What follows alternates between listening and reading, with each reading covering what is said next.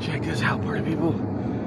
I got a big old white sky flyer in this freaking, uh, look, it's right there.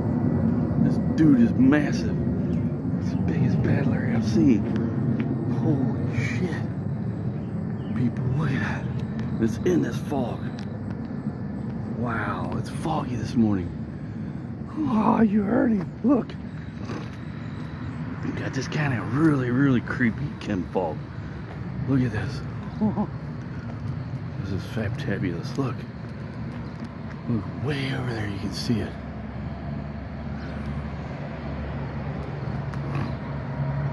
Look, you can see a line over there. That's freaking fabulous.